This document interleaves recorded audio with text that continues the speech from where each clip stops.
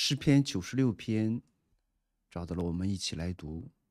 预备起，你们要向耶和华唱新歌，全地都要向耶和华歌唱，要向耶和华歌唱，称颂他的名，天天传扬他的救恩，在列邦中诉说他的荣耀，在万民中诉说他的启示。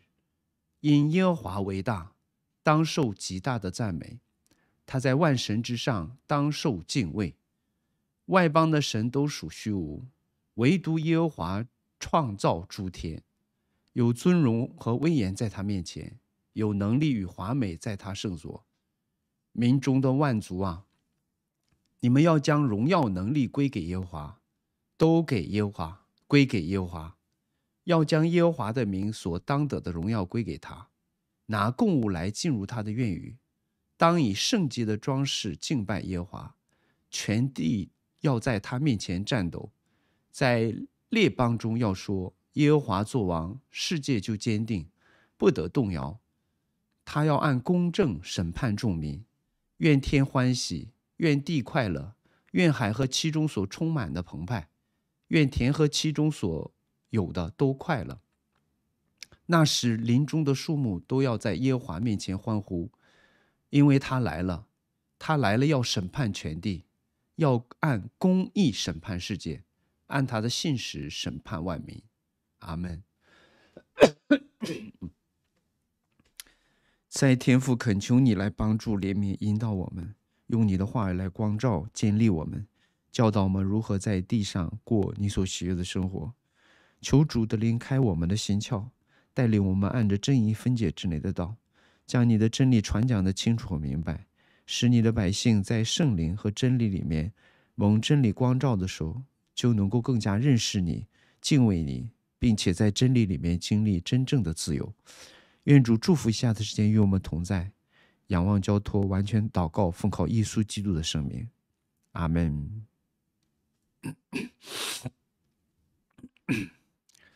诗篇九十六篇，它属于一组具有一致文体和主旨的诗集，也就是说，它属于九十三篇到一百篇的这样的一个诗集哈。那这些诗篇都肯定亚威统治全地的这样的权柄，亚威在拯救自己的百姓的同时，也实行审判列邦。那九十六篇呢，我们看到有这样的结构，一节到三节。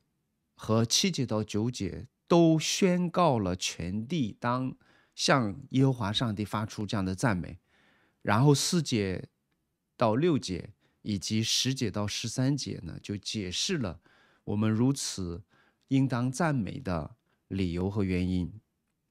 首先，我们来看第一段，宣告全地的赞美，一节到三节。你们要向耶和华唱新歌，那这里面我们看到了三重的呼召：要要向耶和华唱新歌，要向耶和华歌唱，然后啊，要向耶和华歌唱，这样的三重的呼召，要要要，同时也伴随着三个命令，就是要称颂他的名，传扬他的救恩，诉说他的荣耀。称颂、传扬、诉说。那这里面说到了，啊，赞美的内容是以新歌的样式啊。那所谓的新歌，并不是说每一天唱新的歌词、不同的歌曲啊，而说到神的百姓经历了神的新的恩典的时候，应该不断的更新我们对神的赞美。那这里面也谈到了赞美的原因，因为。耶和华的救恩，天天传扬他的救恩，也就是说，他也可以说是他奇妙的作为，或者说他的启示。那在这里面，我们看到就是谈到了上帝的拯救，上帝的启示，上帝的啊作为。同时呢，我们在这里看到了这个第一段发出。要赞美耶和华这样的宣告的对象，你们啊，那从中文里面看，第二人称复数哈，这里面是指这些蒙救赎的以色列百姓，也就是上帝恩约的百姓哈。所以在这里面，我们也看到了诗人向神的百姓发出呼召，让他们传扬神的救恩，称颂他的名，诉说他的荣耀，在万民中诉说他的启示。这一点也让我们想起了，呃，亚伯拉罕之约，上帝呼召亚伯拉罕以及他的后裔，让他万民因他们因他的后裔得福。也就是说，亚伯拉罕和他的后裔将成为祝福的源头，祝福的通路。那这一个应许呢，最终在出埃及记的时候，在西乃山下再一次被强调，上帝称。这些被救赎出来的以色列百姓，称他们为自己的子民，称他们为在列邦当中要做君尊的祭司哈，也就是说，他们要在神和列邦当中侍奉，把神介绍给外邦，然后带领列邦来敬拜侍奉神。因此，在这里面我们看到诗人说：“你们应当歌唱他，应当称颂他。”应当传扬他的救恩，诉说他的荣耀，然后而且是在万民中诉说他救赎的启示、救赎的作为。所以以色列百姓他们先经历了神的恩典，他们认识神，认识神为至大的，认识神，然后他们有责任向列邦去传扬神。第二段我们来看四节到六节。因耶和华为大，当受极大的赞美，在万神之上当受敬畏。万邦的神都属虚无，唯独耶和华创造诸天，有尊荣和威严在他面前，有能力和华美在他圣所。这里面提到了因，前面提到了要称颂、要诉说、要传扬的责任和本分。那这个第四节就谈到了因原因，这里面说耶和华为大。当受极大赞美，他在万神之上当受敬畏。这里面说到了唯独神为大为尊，也就是说什么呢？他与其他在万神、其他的万神做了对比。唯有耶和华神是真神，唯有他是创造诸天的神，而其他的万神是属于虚无的。有意思的是，在这里面万神是 Elohim。当然，我们也之前也讲过，摩西在使用 Elohim 在指耶和华上帝的时候，其实在古代近东的文献里面，他们一般是指万神或者其他的假神也用 Elohim 这个词哈，但是摩西用的是就是特指上帝是这位至大的创造的神，万神是 Elohim 希伯来语，那这里面说。外邦的神都属虚无，虚无是 Elim，发音相似，就做了一个文字游戏哈，是指万神、诸邦的神、外邦的神都是属于虚无的，来描述这个其他的诸神都是假神，所以称为神却不是神啊，唯独耶和华是真神，是至高的神，是大神，在这里面说到，唯独他是。创造天地的神哈，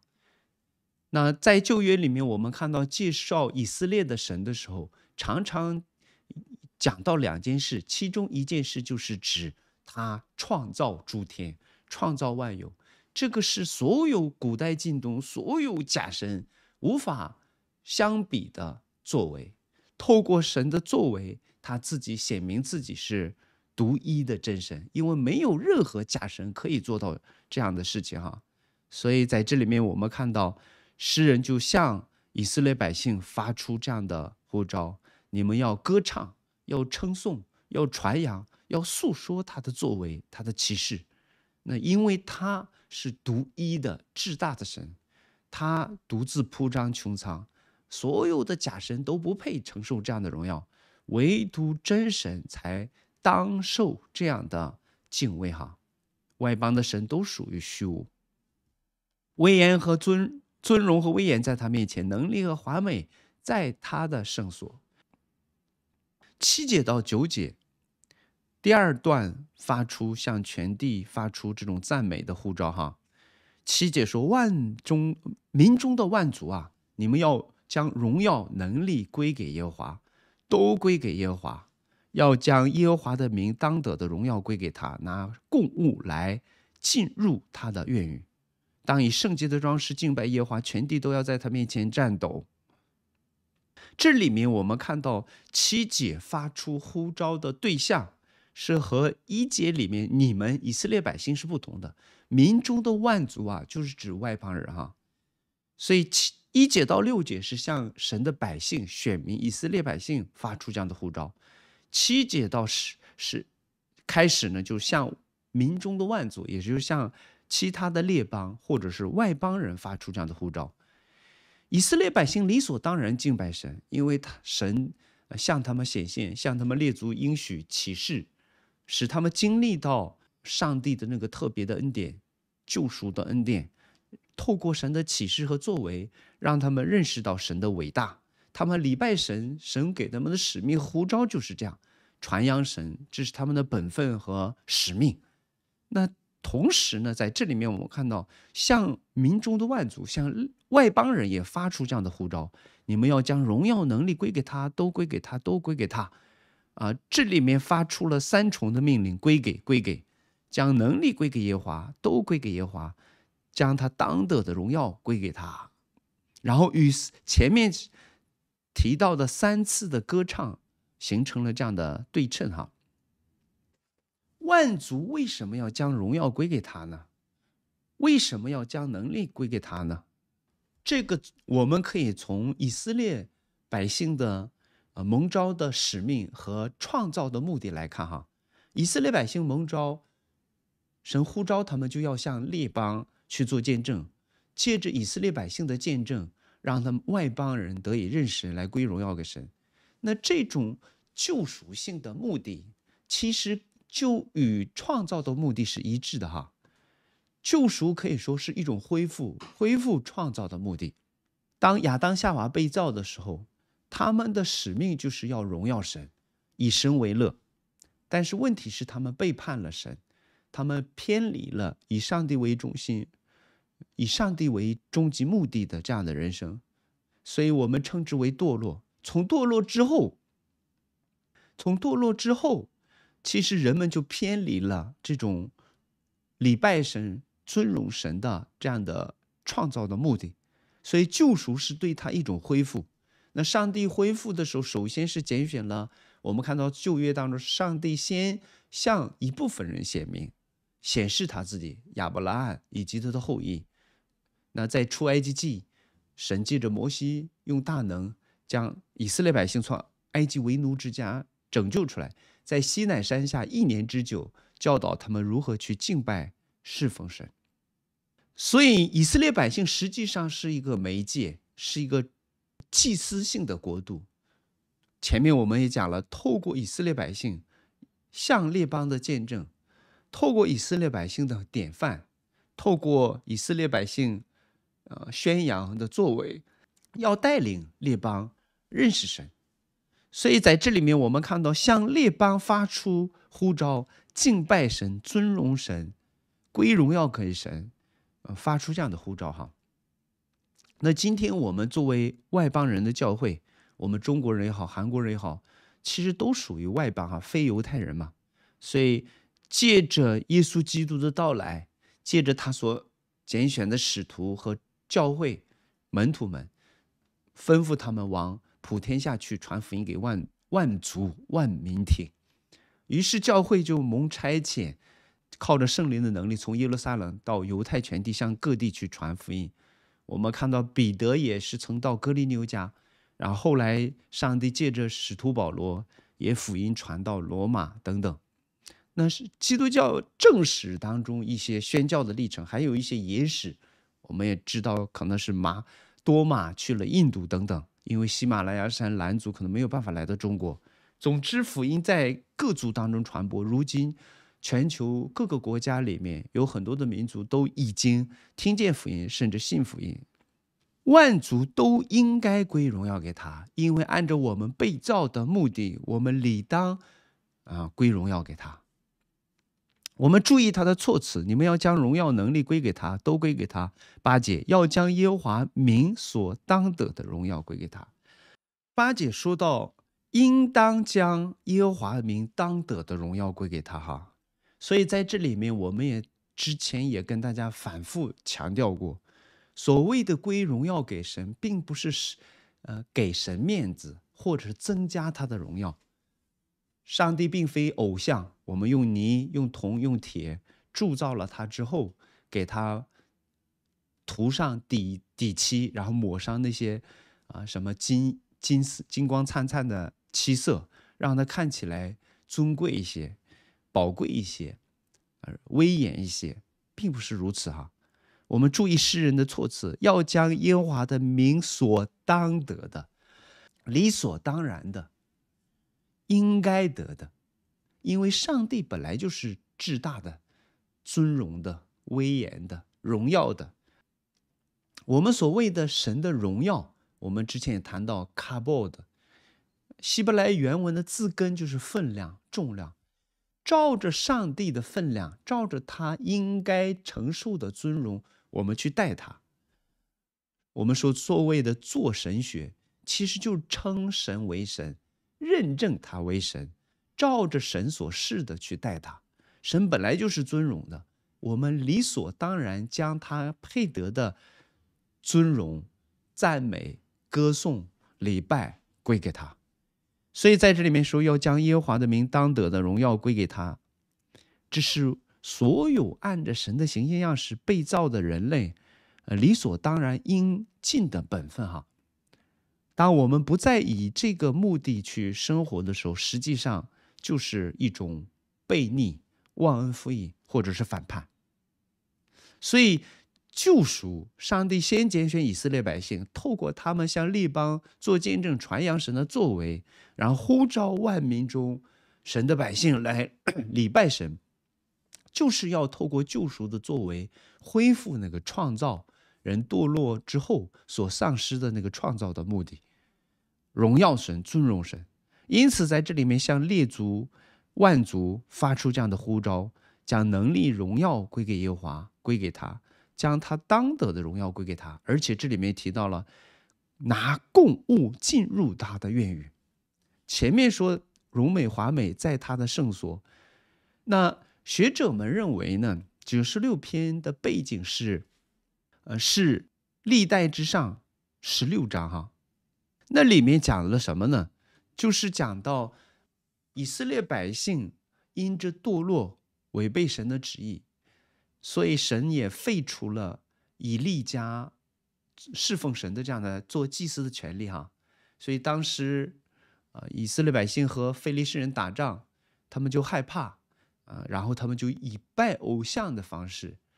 他们因为不忠心，所以神离弃了他们，遭受非利士人的攻击。但是他们却为了得胜，迷信似的将约棍、约柜抬到他们的军中会会中，结果不但打败了，而且他们的约柜也被掳去了哈。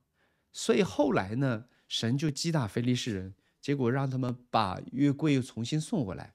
后期呢，大卫做王之后呢，就有心把。约柜运回耶路撒冷，所以第一次运失败了，牛失前蹄，乌撒被击杀，他就害怕，就不敢。然后约柜一直停留在俄别以东家，后来他就起义，重新要把它拿过来哈。所以就在这个情况下，他从俄别以东家迎接约柜进入到圣城耶路撒冷，放在那个帐幕当中，这样的情况下，他们就追溯上帝的荣耀。上帝如何恩待他们？上帝如何拯救他们？理所当然的将尊荣、能力、上帝救赎的作为、应该享受的荣耀归给神啊！所以他们在这里面谈到，因此呢，在这里面提到了进入他的愿语，到神所指定的，这是旧约的处境当中哈，上帝定的时间、上帝定的方式、上帝定的场所来礼拜神、来朝见神。这是应该的哈，而且说到拿供物来进入他的院宇，在旧约里面，上帝在西乃山下已经教导他们献祭、祭司守节、节期各样的制度，如何去礼拜神，按着神的方法方式。因为我们是罪人，所以我们要献上燔祭、赎罪祭、赎愆祭，为自己的罪赎罪。因为我们领受诸多的恩典，所以我们应该还愿、献上平安祭等等，啊，感恩祭等等，来尊荣神哈。所以，我们看到在这里面，线上供物是礼拜不可或缺的要素哈。那在这里呢，我想补充做一下强调。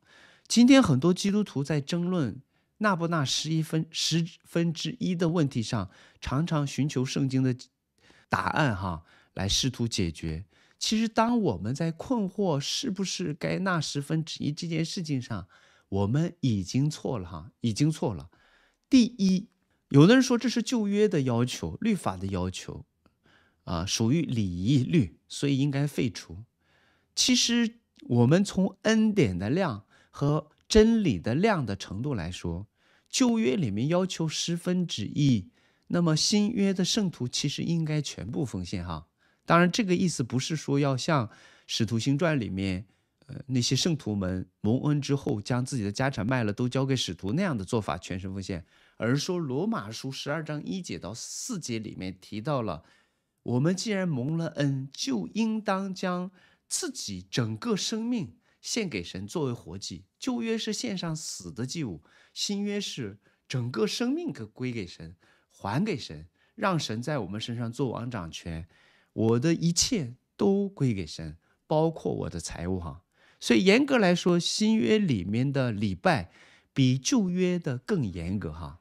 因为真虽然废除了礼仪的形式，但是我们发现礼拜的精神，在上帝面前应该照着神所示的尊荣去尊荣他的这个精神，这个要求并没有降低哈，并没有因着恩典的缘故啊，这个对神的礼拜的标准就降低了哈。嗯，并非如此。所以在这里面，我们看到拿供物来献给他，礼拜神的时候，旧约里面说不可空手朝见神，不光是为了自己赎罪的问题啊。我们新约已经，呃，耶稣基督来了，我们不需要再献上牛羊鸽子赎罪了。但是物质的奉献是必要的哈，物质的奉献是必要的。甚至我们看到基督教历史上有一些牧者或者说学者称。当你的钱袋子没有悔改的时候，在钱袋子上没有悔改的时候，实际上这个人是是，呃，他的悔改是值得怀疑的。那这样讲，并不是为了忽悠人家奉献到教会，好像教会的目的就是盯着人的钱袋子，不是这个意思哈。因为我跟大家讲这个，我也可以坦然无惧，因为我的生活费根本不是靠大家的奉献来维持哈，所以我也没必要有压力去催逼大家。呃，多奉献钱，但是当看到大家的礼拜和信仰的时候，我觉得有必要提这个哈，就是上帝值不值得我们付上一切，照着他应该受的尊崇、尊荣去去对待他，这个是问题。比起我们奉献多少，更重要的是我们的心态哈，因为我们奉献多少物质上的态度，反映了我们对神的态度哈。所以，当我们争论十不十一的时候，其实不只是十一哈，全部都是神的。所以，十一可以啊训练我们汉族人，特别是汉族人哈，破除我们对物质上的捆绑。我们汉族人因为长期受贫穷啊等等的生活，包括节俭的这种概念、攒钱的这种概念，虽然从生活上勤俭节省攒钱是好的，但是。从信仰的角度，我们汉族人呢，往往在物质上捆绑要比朝鲜族人、比韩国人更严重哈，更深。我从某种程度，我们看到朝鲜族人、韩国人比较生活比较乐天哈，他们可以随意的去花钱、去享受、去快乐。那我们看到觉得有点奢侈，或者说不过日子。但从另一个程度呢，他们在物质上。不至于太多的被物质看重物质或被物质捆绑，呃，他们觉得物质是为自己效力，自己活得开心更重要。那我们汉族人不这样哈，所以从某种程度来说，汉族人看重攒攒钱、节省，适当的安排自己的这个财物，这个是可称赞的。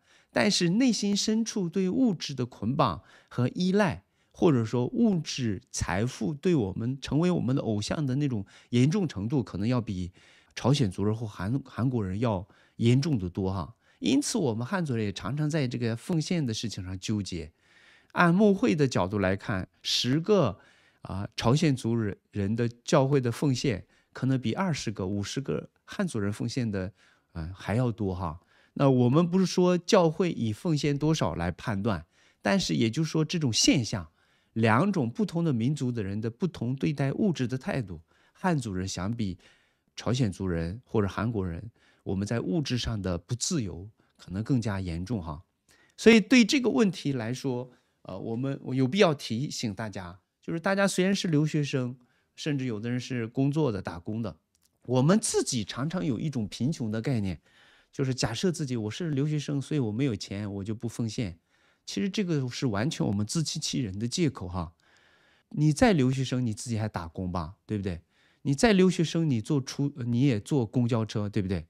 你坐公交车刷一个卡，不换乘的话一千五百韩币，然后你自己也会偶尔去这个去吃个大餐，什么吃个烤肉，吃个自助餐，吃一顿饭花一万五两两万三万也不不心疼，对不对？那你朋友结婚的时候你去赶礼还呃上礼五万十万的上，对不对？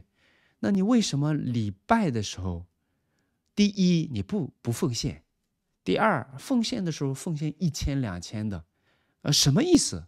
你一千两千去给你朋友上礼，结婚上礼的时候你上去拿不手拿不出手，你觉得丢人。但是你为什么来礼拜的时候竟然拿一两千，在你心目当中就是小钱哈，也就坐个公交车刷个卡的那个钱，你礼拜的时候去奉献给神，也就是说。你这种做法实际上在亵亵慢神哈，在羞辱神。当然，你说你奉献凭自己的心，那么你的心里面，你对上帝的认识也就不过如此嘛。你心目当中的上帝还不如你朋友的面子。你给你朋友上礼，你还觉得上了一一两三万，觉得不好意思，拿五万块钱，这个不是你经济能力的问题哈，是。你内心当中对神的态度的问题，你有没有照着神应该受的尊荣去尊荣他？你有没有想到你的生命也是神给的？不用说，耶稣基督为你死，赎赎买你的罪，让你获得永远的生命。你这个人生命活着，呼吸、心跳、脉搏在跳，血液在循环，能够喘气，能够作为人，两脚站在地上，像个人活着，这个本身生命就是上帝赋予的哈。赋予你生命的上帝却不值得你更加尊重他、对待他吗？连连朋友的这个婚礼都不如吗？所以可见我们今天对神的认识和敬畏远远差得远了哈，差得远了。呃，可悲的是今天很多基督徒过着这样的信仰生活，然后还还以为自己呃为神付出了很多。你看我礼拜天也来礼拜，然后我又做这个做那个。但是问题是，你在物质上的态度已经反映出了你对待神真正的态度。所以弟兄姊妹，很多的时候我们总是愿意做一种不不牺牲的信仰生活，不牺牲、不付上任何代价的所谓的侍奉，这是大错特错哈！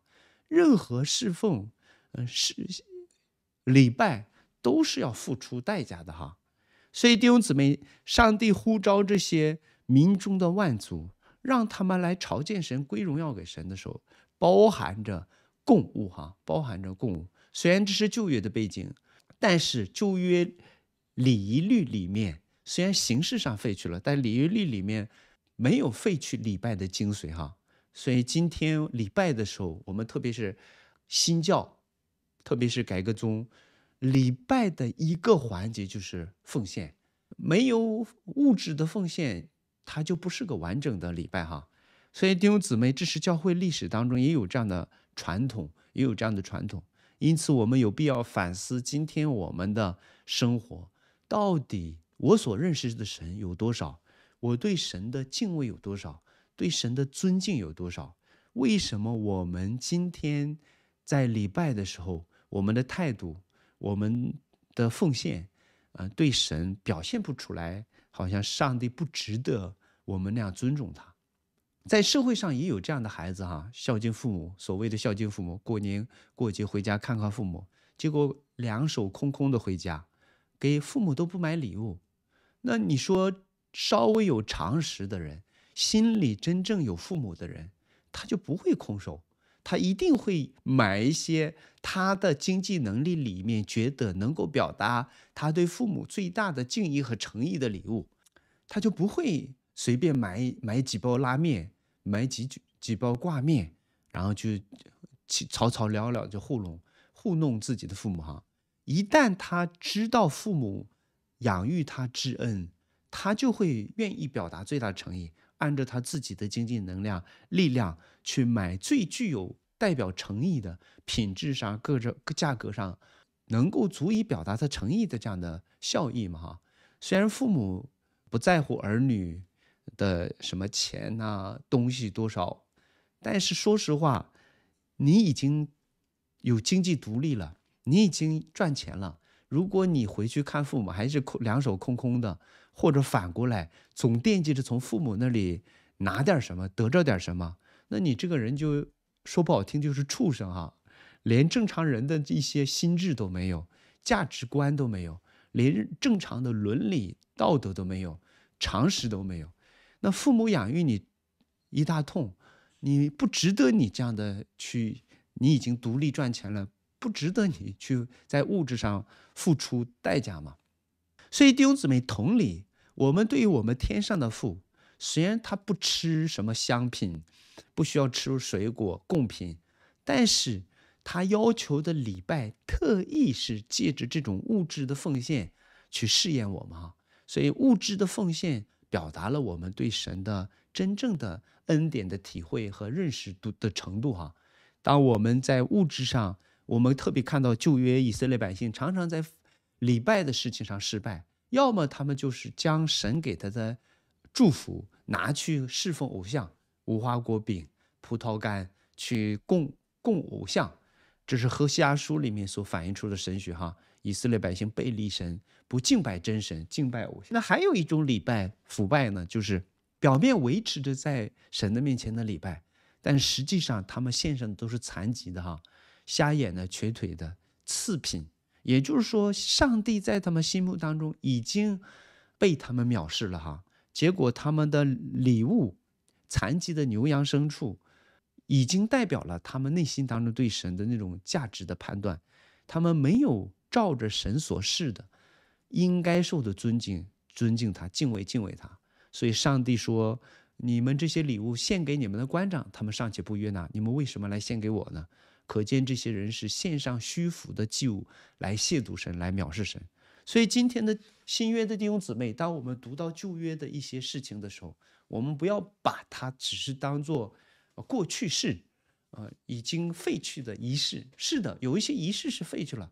但是这些仪式本身反映出了礼拜的精神。我们以最大的诚意，不只是用我们的嘴去称颂神，用心里去敬畏神。当我们心里敬畏神的时候，我们当然要在物质上也愿意将我们看为宝贵的财产用在神所喜悦的事情上。礼拜当中奉献金，像我们最起码有什么十亿奉献，我们收入的十分之一。每个月或者怎么样的去奉献啊？还有就是我们每一次礼拜要奉献哈。除了十一奉献之外，我们礼拜的时候啊，因为礼奉献金钱的奉献是礼拜的一个要素嘛，没有金钱的奉献就谈不上礼拜哈。所以每个周你要定下来，你要献上礼拜多少？有些同学献一千两千，当然虽然是这个没有人强迫。但是我说，按照现在韩国留学生的生活水平，一两千反映出了你对上帝的诚意不够哈，诚意不够。你自己吃一顿饭都花一万、一万五、两三万去吃，为什么呃在神的事情上，在礼拜的事情上这么小心呢？对不对？所以这个是可责备的事情啊。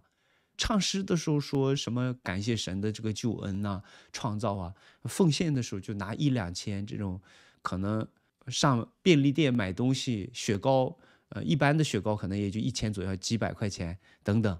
那买就是这种小钱，我们人都觉得是小钱的东西，你却来奉献，你不在羞辱神吗？所以弟兄姊妹，大家一定要郑重，不要去掉到自己虚妄的那种自以为是的信仰里面，好像总觉得自己信仰很好似的，这个给神很大的面子似的。其实你仔细反省我们自己的信仰生活，我们很多的时候是在轻贱神。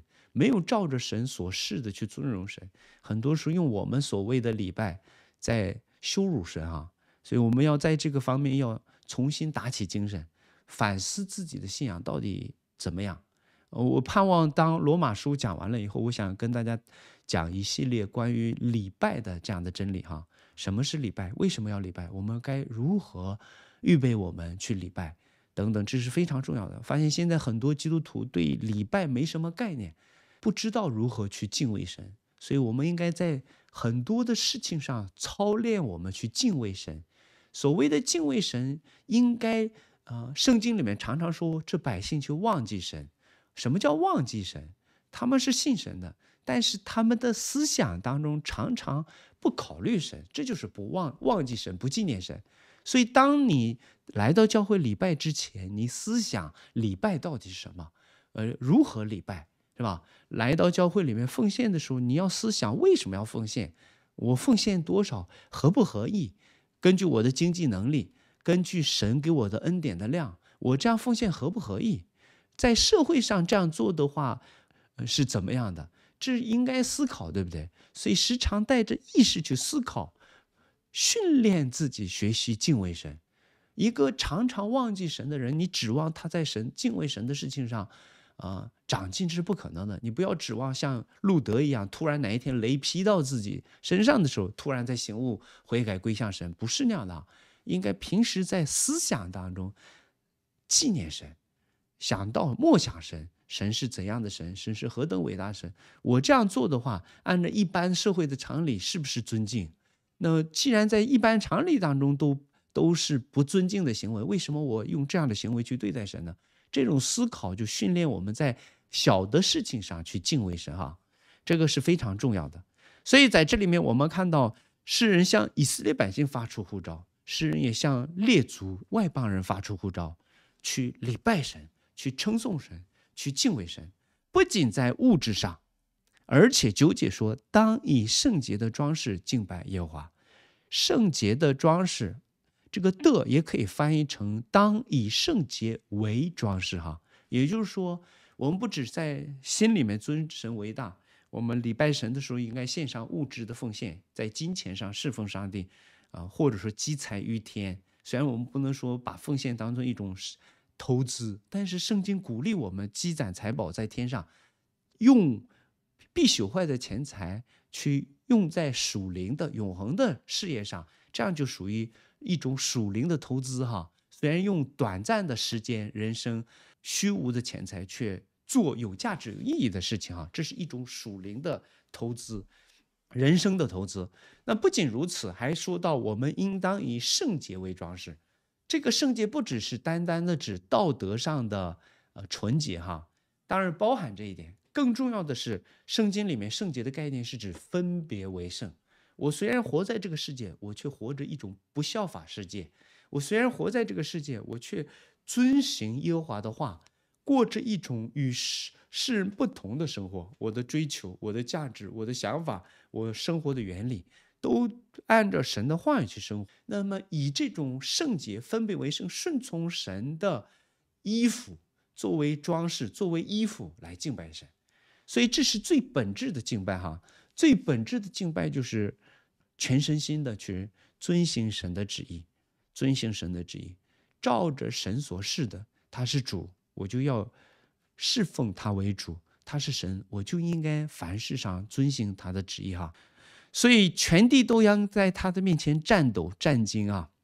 人在列邦当中要说耶和华作王，耶和华作王，不仅他创造万有，万有都属于他，他也继续统治护理这个世界。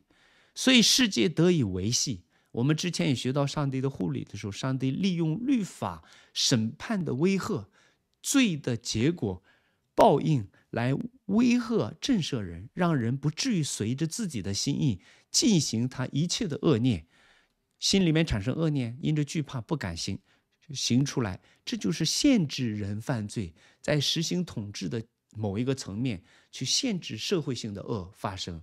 所以弟兄姊妹，我们看到因着神的作王，世界得以建立。它不仅是维持世界的秩序，它也维持社会的秩序。当然，你说啊，现在有什么金正恩，呃，像什么什么一些独裁的、暴政的国家，这样残忍的国家不错。但是如果上帝不护理的话，出于智慧的护理，人类社会可能会更加邪恶。所以这种程度已经在神的护理当中，已经降低很大程度的邪恶了。但是同时，上帝的护理为什么允许这样的政权存在？上帝可能是借着这样邪恶的政权去报应报应那些愚昧的、悖逆的百姓，或者是去历练他的教会，或者说叫我们知道一个不敬畏神的政权，它最终和神的国度有什么样的差别，让我们更加盼望那个完美的神的统治。当人不以神为神，人自己要做王的时候，那就一个邪恶的王让你看到。人自己治理自己会产生什么样的效果？所以人们就盼望那个真正公义的王，上帝做最终做王掌权那个时代的到来哈。所以弟兄姊妹看到社会上的邪恶，第一人的邪恶，第二上帝限制了这邪恶，第三上帝没有完全禁止这邪恶，是出于可能教育性的目的，教导神的百姓，或者是去惩罚那些邪恶的百姓。让我们知道盼望那个真正的公义的和平的王啊来治理哈，所以世界得以坚定，不不不至于动摇。他要按着公义审判众民，上帝是审判也是他的王权，因为他对这个世界有治理权嘛，所以他有审判的特权，而且他也是按着公义审判。上帝在历史当中也实行了公义的审判，维持了赏善罚恶的这样的秩序。所以，甚至不信的人，他们也知道世间有公义，哈，有公道。呃，恶的人一定遭到报应，这个善的人一定得到好的报应。那这个谁报应呢？其实他们虽然不清楚，但是神在做王，哈，上帝是公义的，他是世界的王，他也一定会按照公义来治理这个地上。过去历史当中，神在实行审判，将来最终末后的日子，上帝最终要实行那个末日的大审判，哈。愿天欢喜，愿地快乐，愿海和其中所充满的澎湃，愿田地和其中所有的快乐，愿林和林中的树木在耶和华面前欢呼。这里面说天地海田林，上帝所创造的各个领域，天地海林树木都在澎湃欢呼。为什么欢呼呢？因为他来要审判世界，最终神要审判世界。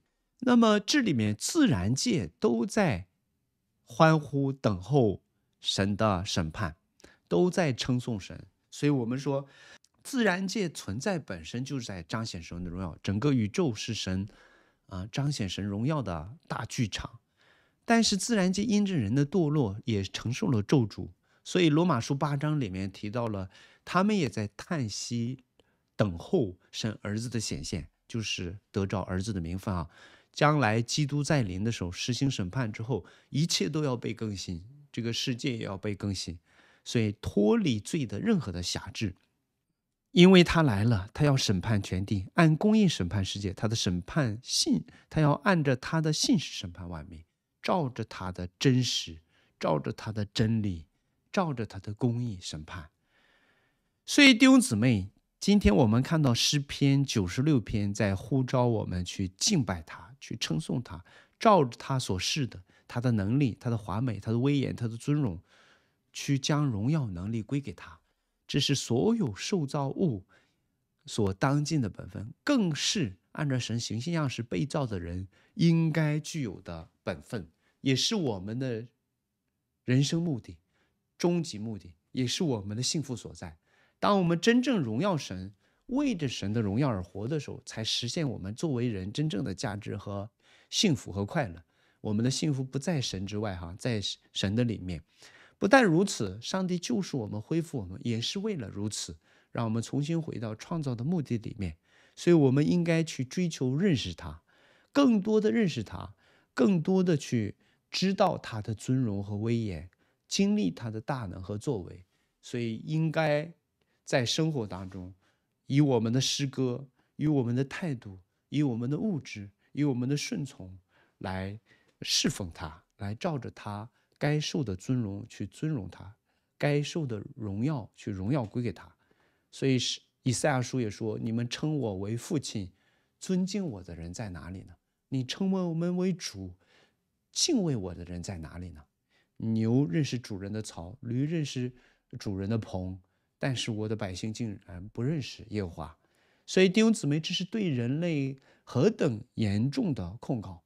我们还不如动物，所以我们活着不应该像动物那样活着，应该活出神荣耀形象样式，在神的恩典的话语的里面认识神，照着神所示的去敬拜他，这就是。礼拜神，归荣耀给神哈！愿神祝福大家。我们这个时间一起来祷告。